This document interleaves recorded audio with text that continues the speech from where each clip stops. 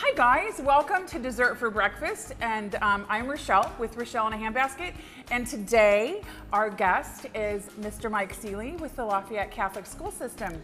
You have been in Lafayette now how long? About a year and a half.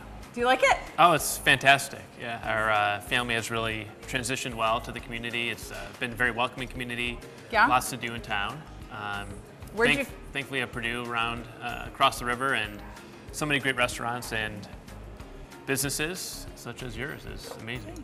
Thanks. I always want to say, oh, cross the river and through the woods to grandmother's house. Anyway, moving on. Um, tell me about what you do as the president of the Catholic school system, which is rather large here in Lafayette, is it Yeah, not? we have uh, four school or five school buildings, uh, pre-K through 12th grade Okay. um, in the community, and my main role is to um, look over the budget, the finances, fundraising, um, make community engagements, and uh, make sure that our students and parents uh, feel like they have a wonderful Catholic education here in town.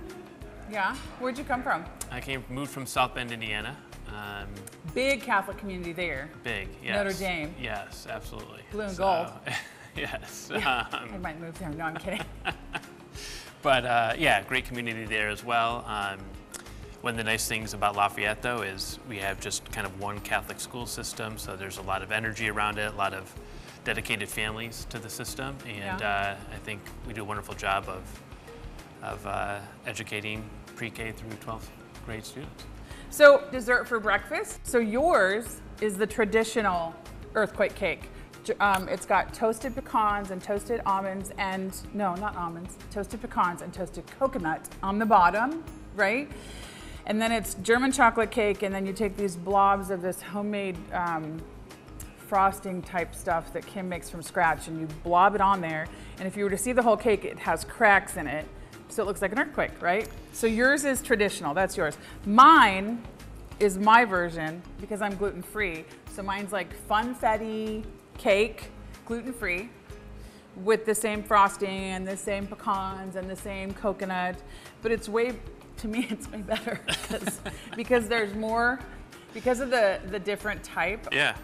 there's way more um, frosting in there, and so it like totally gets more. Fro- it's so good. Okay, here. So, so the consistency, it looks like it's not, it's a cake or not a brownie.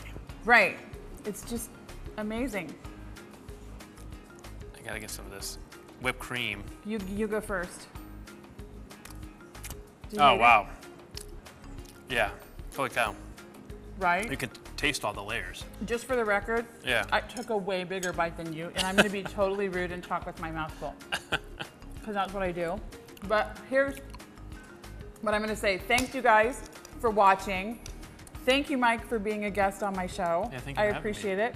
Enjoy your breakfast. Thank you. And I hope everyone has a great week. And remember, be kind. See you later. Bye bye.